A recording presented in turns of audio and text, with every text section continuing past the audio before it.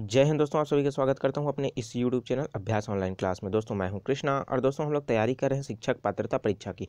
मतलब टीटी की तैयारी कर रहे हैं दोस्तों तो उसका प्रैक्टिस पेपर जो है, उसकी भी तैयारी कर रहे हैं। तो दोस्तों, ये प्रैक्टिस सेट जो है, दूसरा है। मैंने पहला प्रैक्टिस सेट जो है अपलोड कर चुका हूँ। उसका जो है बाल विकास का, हिंदी का और पर्यावरण का और गणित के भी है। उसमें और साथ ही साथ दोस्तों, उसका जो है मैथ्स का ट्रिक भी मैंने अपलोड करके रखा है तो डिस्क्रिप्शन में उसका सभी का लिंक दे रखा है, उन सभी लिंक पर आप आसानी से क्लिक करके उन सभी वीडियो को आप आसानी से वॉच कर सकते हो। तो दोस्तों, चलिए स्टार्ट करते हैं हमारा आज का ये वीडियो, जिसमें हम लोग हिंदी को प्रैक्टिस करने की कोशिश करेंगे। दोस्तों, उसमें तीस प्रश्न मैं आपको बताऊँगा, आपको याद हो जाएगा। और दोस्तों, अभी तक मेरे चैनल को सब्सक्राइब नहीं किया हो तो नीचे आपको रेड बटन दिखाई दे रहा होगा, उसमें लिखा होगा सब्सक्राइब।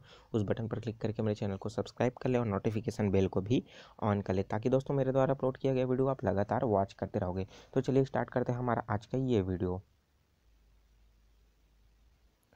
तो दोस्तों, इसमें जो हिंदी का जो दिया है, उसका हम लोग पहला प्रश्न देख लेते हैं। दोस्तों, इसमें जो पहला प्रश्न जो दिया हुआ है, वो है, भाषा शिक्षण में चयन का सिद्धांत आधारित है। दोस्तों, भाषा शिक्षण में जो चयन का जो सिद्धांत आधारित है, वो किस पर आधारित है? वो पूरा आधारित है दोस्तों, अध्यापक पर है। तो दोस्तों, इस तरह क्या हो जाएगा? इसका बी ऑप्शन जो है सही हो जाएगा।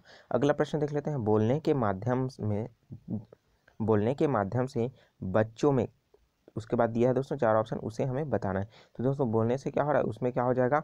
झिझक समाप्त हो जाती है। दोस्तों, क्या हो जाएगा? बोलने के माध्यम से बच्चों में झिझक जो होती है, वो दूर हो जाएगा। तो दोस्तों, इस तरह क्या हो जाएगा? सी ऑप्शन जो है, सही हो जाएगा। और दोस्तों, अगला प्रश्न देख लेते हैं। अगला प्रश्न है प्रश्न नंबर तैंतीस। पाठ्य पुस्तक है। दोस्तों तो पाठ्य पुस्तक क्या है? तो पाठ्य पुस्तक जो है, आपका वो क्या है? जो शिक्षण मित्र का रूप है। दोस्तों, क्या है? जो है, शिक्षण का मित्र मतलब जो बालक होता है, उसके लिए सबसे करीबी मित्र क्या होता है? उसका पुस्तक ही होता है है ना दोस्तों? तो पाठ्य पुस्तक क्या है? शिक्षण मित्र है। अगला प्रश्न देख लेते हैं। अगला प्रश्न है, फोवेल ने निम्न खेल का प्रमुख बल दिया है। तो दोस्तों, निम्न ने फ्रोबेल ने निम्न खेल पर प्रमुख बल दिया है। तो दोस्तों, इसमें चार ऑप्शन दिया गया है तो उसमें से सही ऑप्शन कौन सा है? दोस्तों, वो दिया है गेंद का खेल। गेंद का जो खेल दिया गया है जो है फ्रोबेल द्वारा, उन्हीं खेल पर ज़्यादा बल दिया गया है उन फ्रोबेल के द्वारा। तो अगला प्रश्न देख लेते हैं। अगला प्रश्न है, भाषा के माध्यम से छात्रों का होता है। तो दोस्तों, भाषा के माध्यम से छात्रों का क्या होता है? छात्रों का होता है केवल बी तथा ए तथा बी। तो दोस्तों, उसमें क्या है? मानसिक विकास और बौद्धिक विकास। केवल क्या होता है? भाषा के माध्यम से मानसिक विकास होता है और बौद्धिक विकास होता है। शारीरिक विकास नहीं होता। दोस्तों एक्सरसाइज करेंगे और खेल की गतिविधि करेंगे, तब क्या हो जाएगा? शरीर का विकास होगा। तो इस तरह क्या हो जाएगा? इसका डी ऑप्शन जो है, सही हो जाएगा। अगला प्रश्न देख लेते हैं। अगला प्रश्न है, मीन का पर्यावाची शब्द है। तो दोस्तों, मीन का पर्यावाची शब्द इसमें कौन सा है? तो मीन का अर्थ होता है मछली। तो उसका पर्यावाची शब्द क्या हो जाएगा? तो मछली हो जाएगा। सी ऑप्शन क्या हो जाएगा? सही हो जाएगा।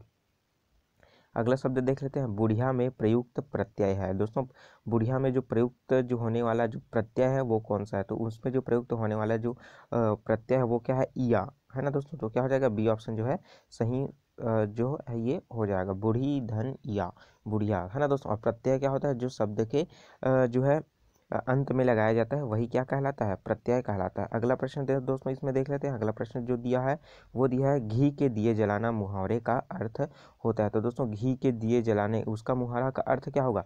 खुशी मनाना होता है। तो इसका क्या हो जाएगा? सी ऑप्शन जो है, सही हो जाएगा। अगला प्रश्न देख लेते हैं। प्रश्न है थर्टी नाइन। निम्नलिखित में शुद्ध वाक्य है। तो निम्नलिखित में से कौन सा शुद्ध वाक्य है, दोस्तों? तो निम्नलिखित में जो शुद्ध वाक्य है, वो क्या है? भक्तों की मंडली जा रही है। इस तरह क्या हो जाएगा? बी ऑप्शन जो है सही हो जाएगा। भक्तों की सेना जा रही है, ऐसा नहीं बोलेंगे। तो भक्तों की टुकड़ी जा रही है ऐसा भी नहीं बोलेंगे।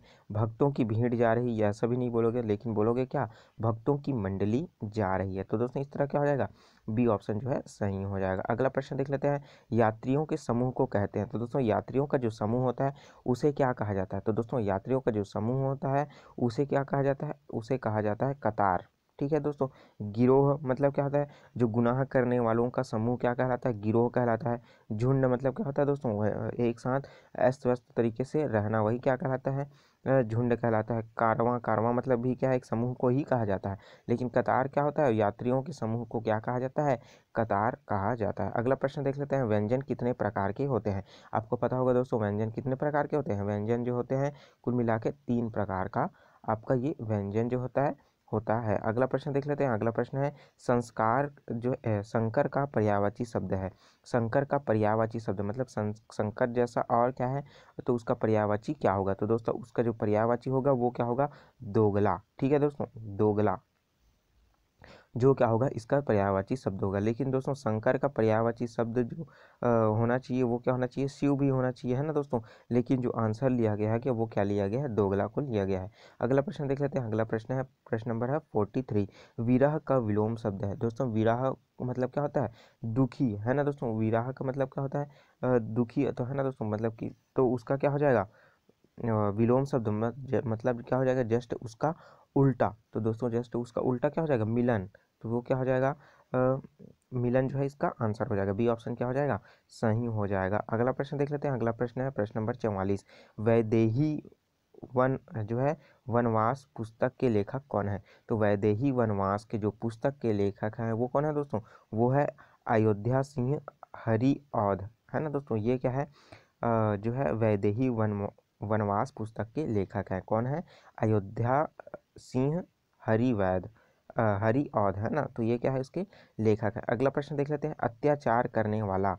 तो क्या कहलाता है? जो दोस्तों, जो अत्याचार करता है, वो क्या कहलाता है? तो वो क्या कहलाता है? आतताई आतताई क्या कहलाता है? आताताई के नाम से जाना जाता है। तो इसका डी ऑप्शन जो है, सही हो जाएगा। अगला प्रश्न देख लेते हैं, प्रश्न है छियालीस। भरपेट का उपसर्ग होगा। दोस्तों, भरपेट का उपसर्ग क्या होगा? जो शब्द के पहले लगता है वो क्या कहलाता है? उपसर्ग कहलाता है। तो भरपेट का क्या कहलाएगा? जो इसमें जो दिया है, वो क्या कहलाएगा? भर, है ना? तो दोस्तों, इसमें क्या हो जाएगा? डी ऑप्शन में जो दिया है भर, वो क्या हो जाएगा? इसका सही आंसर हो जाएगा। तो दोस्तों, इस तरह क्या हो जाएगा? डी ऑप्शन जो है, इसका सही आंसर। अगला प्रश्न देख लेते हैं। अगला प्रश्न है ठकुराइन का प्रत्यय है। दोस्तों, ठकुराइन जो शब्द है, उसका प्रत्यय क्या है? तो ठकुराइन जो शब्द है, दोस्तों, उसका जो प्रत्यय है, वो क्या होगा? नी। जो ठकुराइन ठकुराइन उसके बाद क्या हो जाएगा? धन। नी तो क्या हो जाएगा? ठकुराइनी। है ना, दोस्तों? इस तरह क्या हो जाएगा? जो है, डी ऑप्शन जो है, सही हो जाएगा। नी जो शब्द है, वो क्या हो जाएगा? इसके लिए जो है प्रत्यय शब्द प्रयुक्त होगा। अगला प्रश्न देख लेते हैं, दुर्ग का संधि विच्छेद है। तो दोस्तों, दुर्ग का जो है, संधि विच्छेद क्या होगा? तो दुर्ग जो का जो संधि विच्छेद होगा, वो होगा दू धन रग। दू धन रग बराबर क्या हो जाएगा? दुर्ग। है ना दोस्तों? तो और दुर्ग मतलब क्या होता है? किला होता है। दुर्ग का अर्थ क्या होता है? किला होता है। अब देखते हैं दोस्तों, अगला प्रश्न। अगला प्रश्न में ये बोल रहा है दोस्तों, नीचे दिए गए गद्यांश से महत्व संबंधित पढ़कर पढ़ना है और नीचे उत्तर दिए गए प्रश्नों के उत्तर देना है। तो उनचास से लेकर बावन तक जो है दोस्तों, इसमें है अपठित गद्यांश जो दिया गया है, उसका क्वेश्चन आंसर दिया गया है। तो दोस्तों, मैं इसमें अपठित गद्यांश नहीं पढ़ रहा हूँ, आप तो इसे आसानी से बना लोगे, इन्हीं से पढ़ना है और इन्हीं से आपको हल करना है। किसका किसका? उनचास, पचास, इक्यावन और ये बावन। चार क्वेश्चन को आप हल करना है। दोस्तों, आप हो सके तो इस वीडियो को पॉज करके आप उसे पढ़ के आप उसका आंसर निकाल सकते हो। दोस्तों तो मैं बता रहा हूँ आपको क्वेश्चन नंबर तिरपन से। दोस्तों तो क्वेश्चन नंबर तिरपन देख लेते हैं। नीचे दिए गए शब्द का सही अर्थ चुनिए। तो नीचे शब्द जो दिया गया है, उसका सही अर्थ चुनना है। ठिठोली जो है, वो शब्द दिया गया है। तो उसका आंसर हमें ढूंढना है। तो दोस्तों ठिठोली जो शब्द है, उसका सही आंसर क्या होगा? वो होगा परिहास करना। किसी का ठिठोला ठिठोली करना मतलब क्या हो रहा है? उसका परिहास करना होता है।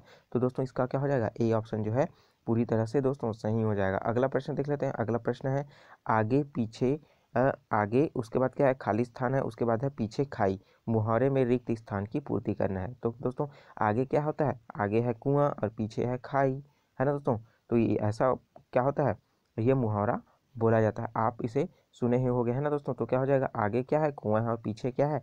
खाई है। तो दोस्तों, इस तरह क्या हो जाएगा? सी ऑप्शन जो है इसका सही हो जाएगा। अगला प्रश्न देख लेते हैं। नीचे दिए गए शब्द का अर्थ चुनिए। तो दोस्तों, इसमें कौन सा शब्द दिया गया है? इसमें शब्द दिया गया है उपेक्षा। तो उपेक्षा शब्द का हमें अर्थ क्या करना है?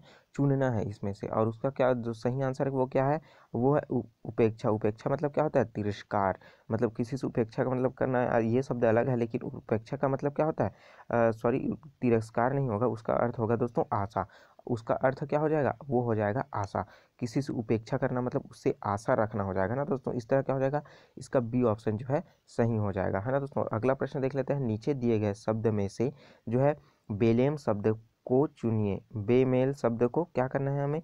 इसमें चुनना है। तो इसमें क्या क्या दिया है? आपका ससुर दिया है, सहोदर दिया गया है, साला दिया है और सखा दिया है। तो दोस्तों, इस तरह इसका जो सबसे अलग जो दिया गया है, वो क्या है? वो है सहोदर। तो दोस्तों, सहोदर का अर्थ क्या होता है? मुझे कमेंट करके नीचे ज़रूर बताइए कि ये कौन सा संबंध है सहोदर का। है ना दोस्तों? तो आपको ससुर का मतलब तो समझ आ रहा होगा, साला का मतलब और सखा मतलब। सखा मतलब मित्र होता है, साला मतलब क्या होता है? पत्नी के भाई को क्या कहा जाता है? साला कहा जाता है। और पत्नी के पिताजी को क्या कहा जाता है? ससुर। तो लेकिन सहोदर क्या होता है? आप मुझे कमेंट करके नीचे ज़रूर बताइए। अगला प्रश्न देख लेते हैं दोस्तों। अगला प्रश्न दिया गया है। इसमें निम्नलिखित शब्दों के आगे चार चार शब्द दिए गए हैं। उनमें से उचित जो है समानार्थक पर्याय पर्याय चुनकर आपको बताना है। तो दोस्तों, इसमें जो चार चार शब्द दिया गया है, उसको हम लोग एक एक करके देख लेते हैं। तो पहला दिया है दोस्तों, दूध दिया है। तो दूध का ऑप्शन जो इसमें दिया गया है, क्या दिया है? खीर दिया है, पेय पदार्थ दिया गया है, नवनीत दिया गया है और स्तन्य दिया गया है। तो दोस्तों, इस तरह क्या हो जाएगा? इसका जो सही आंसर जो होगा दोस्तों, वो क्या हो जाएगा? वो होगा स्तन्य है ना दोस्तों? ये क्या हो जाएगा? इन चारों में से जो है समानार्थ प्रयुक्त होता है। तो है ना दोस्तों? अगला प्रश्न देख लेते हैं। हाथ। हाथ में क्या दिया है? पानी, अग्रांग, मकर और अंगुलीमान। तो दोस्तों, इस तरह क्या हो जाएगा? इसका जो सही आंसर होगा, वो क्या होगा? पानी। पानी मतलब क्या होता है दोस्तों? हाथ को ही कहा जाता है। अगला प्रश्न देख लेते हैं। निम्नलिखित में से कौन सा शब्द स्त्रीलिंग नहीं है? तो दोस्तों, कौन सा शब्द जो है स्त्रीलिंग नहीं है? इसमें दिया है कलम है, किताब है, पुस्तक है, पुस्तकालय है। तो दोस्तों, इसमें जो है स्त्रीलिंग शब्द नहीं है मतलब क्या हो, क्या होगा? वो पुरलिंग शब्द होगा ना, या पुरलिंग हो सकता है या फिर नपुंसक लिंग हो सकता है है ना दोस्तों? तो क्या इसका जो सही आंसर जो है, वो क्या है? वो है पुस्तकालय। पुस्तकालय क्या है? एक प्रकार से पुरलिंग शब्द है। अगला प्रश्न देख लेते हैं, प्रकाश की किरणों के समूह को क्या कहते हैं? तो इसको क्या कहा जाता है? अग्नि कहा जाता है क्या? या ज्योति कहा जाता है, या ज्वाला, या पुंज। तो दोस्तों, इस तरह इसका जो सही आंसर है, वो क्या है? वो है पुंज। पुंज को ही क्या कहा जाता है? प्रकाश की किरणों का समूह ही कहा जाता है। जैसे क्या होता है? एक प्रिज्म है। प्रिज्म से क्या होता है? जब सनलाइट जब गुजरता है तो वो क्या होता है? अपने सात रंगों में विभक्त हो जाता है दोस्तों, है ना दोस्तों? तो ये क्या कहता है? वो एक ही प्रकार का स्पेक्ट्रम कहलाता है। लेकिन वो तो साइंस की भाषा में, लेकिन हिंदी की भाषा में कहा जाएगा तो क्या हो जाएगा? वो कहलाएगा प्रकाश पुंज कहलाता है। आप शक्तिमान देखे हो तो आपको इसके बारे में ज़रूर पता होगा दोस्तों। तो दोस्तों, इस तरह मैंने पूरे तीस क्वेश्चन को इस वीडियो में कवर कर दिया है। आपको अच्छा लगा हो दोस्तों वीडियो तो लाइक करें और अभी तक मेरे चैनल को सब्सक्राइब नहीं किया हो दोस्तों तो नीचे आपको रेड बटन दिखाई दे रहा होगा, उस पर क्लिक करके मेरे चैनल को सब्सक्राइब करो जैसे ही सब्सक्राइब करोगे, एक बेल आइकन आएगा, उसे भी क्लिक कर दोगे। तो दोस्तों, मेरे द्वारा अपलोड किया गया इसका अगला वीडियो आप लगातार वॉच करते रहोगे। दोस्तों मैथ्स के बहुत सारे ट्रिक मैंने अपलोड करके रखा है, नीचे डिस्क्रिप्शन में आप उसे देख सकते हो। और दोस्तों, इस वीडियो को ज़्यादा से ज़्यादा अपने व्हाट्सअप ग्रुप में फेसबुक ग्रुप है इंस्टाग्राम में इंस्टीट्यूट मटेरियल ग्रुप है। ज़्यादा से ज़्यादा इसे शेयर करें ताकि इस वीडियो का फ़ायदा भी उन सभी लोगों को मिल सके जो कॉम्पिटिशन एग्ज़ाम की तैयारी कर रहे हैं। तो दोस्तों, इस तरह मेरा इस वीडियो को पूरा देखे हो इसलिए आपको बहुत बहुत धन्यवाद। Thank you